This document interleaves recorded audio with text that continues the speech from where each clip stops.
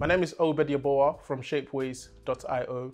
We're a tech hub based in Tooting inside the Trident Business Center, and we offer digital skills training to young and mature people. So I'm from Ghana. Um, to be more specific, I was born in Ghana. I came to this country when I was eight years old, and there's a few stories in that, but we'll leave it there. So the impact I'm making in my community is to support young people who find it very difficult to engage in a formal classroom. So young people with behavior issues, um, attention issues, or anything in that correlation, we then bring them into our space, which is shapeways.io, and provide them a space where it kind of feels like a living room and, a, and an office put together. And I guess giving them access to teachers that kind of speaks and look and also I guess have the same interest as them to quick to build quick report to allow them to kind of engage in a way that it isn't so much as a teacher student um, relationship but it's more of a friend that's trying to help you. So there's a lot of things to love about black culture. And for me because being born in ghana it's almost the culture is, has been cemented in me. And a lot of the times for me when i listen to especially african music that it just comes with this unique feeling that uh, it's very hard to explain, but I think the best way I can put it is it makes you feel like it's Friday on a Monday. And being a bedroom DJ, which is simply a DJ that isn't commercial, um, I love to mix African music. If you book me for your events, I only do Afrobeats. And that's just simply because I like to have fun too when I'm mixing. So the black culture, especially when you go to parties, the the, the dresses um, coming from the Nigerian kind of um, angle, everything is exaggerated. Everything is in your face. The colors, the food, the personalities. It's amazing. I mean, what is there not to love? Honestly speaking, I think Black History Month should be celebrated every single day.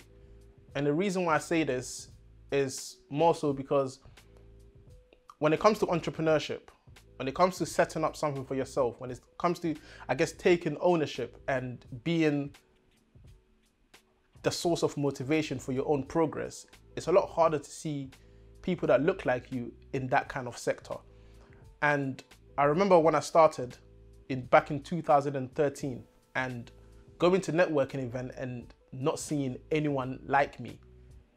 It almost feels quite overwhelming, but then you're thinking, maybe there's a glass ceiling or maybe I shouldn't be here. Maybe this is it for me. And this was also highlighted to me when um, a young person came into Shapeways and asked, "So who's this for?" And I said, "Oh, it's it's uh, it's for it's for me." And I was quite hesitant to even say that because in my mind, I wasn't fully comfortable with saying I own this. And when I told them, they were equally kind of surprised or hesitant to actually taking that information because they're looking at it like, well, you're black, you look like me, and you own this.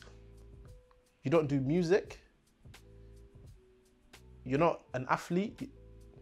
So there's actually a space for me to actually do something like this and have ownership and be in a position of leadership. And I think for us, it's about bringing those that are in leadership roles at the forefront of especially young people in education or even not in education. And it's, it's also about us promoting education not being the only route to success. I think a lot of the times, especially black parents or black people, when they're not doing so well in, in education, the natural kind of state of their thinking is simply maybe I might just have to settle because of the color of my skin. I have to work twice as hard. And if I'm not doing extremely well in school, then I have no chance. And for me, I always try to challenge that conventional way of thinking because that's not exactly true. Because on paper, I don't even think I should be here. I should be probably in Ghana or in jail. So you can kind of see that sometimes when you're not doing so well in school, especially, and when you have parents that education is almost the passport for them to, to feel like you're going to be successful, it, it's hard to see. It's, it's hard to see the light um, at the end of the tunnel when you don't have any role models to actually educate you about if you're not good at education, if you're not good at maths, English, science, there are some kind of alternative route for you. And at Shapeways, this is where where I personally feel we can provide young people, especially colored young people, to see that there, there is a whole industry out there that isn't so solely focused on education, but more so about your skills, your portfolio, what have you done? And that's where I, I think the digital route or the online space kind of sits. When we meet a young person, we try to let them see that there's more to life and education isn't necessarily your passport, but your attitude, your interpersonal skills, and just your general outlook on life is your passport. If you're a black young person watching this, please don't do what I did. I remember when I went to networking events and the color of my skin was almost the thing that was inhibiting me from actually being myself. I would naturally ask myself, is being black the thing that I guess is stopping me from actually getting from A to B? And I started to change the way I speak. I started to act a lot different. I started to think that maybe if I fit the description more, maybe I'll be accepted and people will take me serious. And when I started going onto this journey, I realized that the more I went, I started losing myself.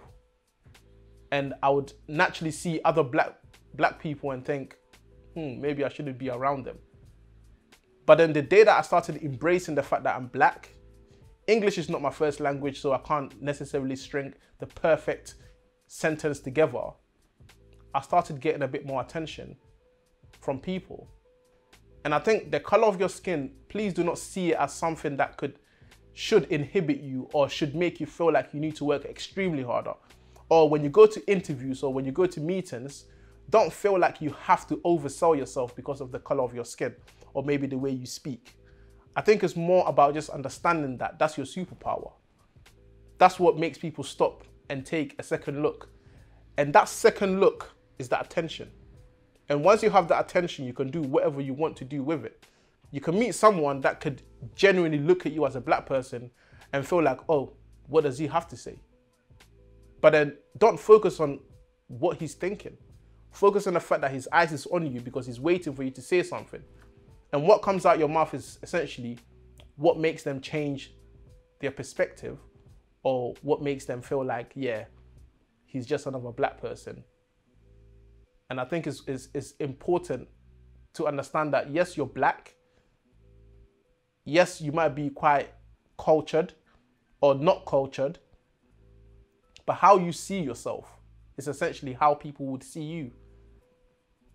I am Obed Yeboah. I'm proud to be from shapeways.io, and this is my Black History Monday.